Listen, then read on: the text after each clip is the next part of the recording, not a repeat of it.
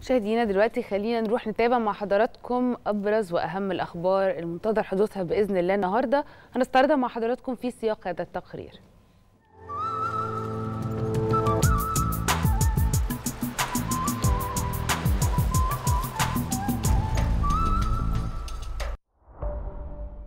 بخصوص الأخبار اللي هتحصل النهاردة فالنهاردة هتبدأ هيئة السكة الحديد في تشغيل عشر قطارات إضافية خلال أجازة عيد الفطر المبارك لعام 1445 هجرية وبيستمر تشغيلها حتى 20 إبريل الجاري النهارده وفقا للمعهد القومي للبحوث الفلكية السماء هتتزين باقتران ثلاثي حيث يقترن القمر مع كل من كوكب زحل لؤلؤة المجموعة الشمسية وكوكب المريخ الكوكب الأحمر في الصباح الباكر قبل شروق الشمس.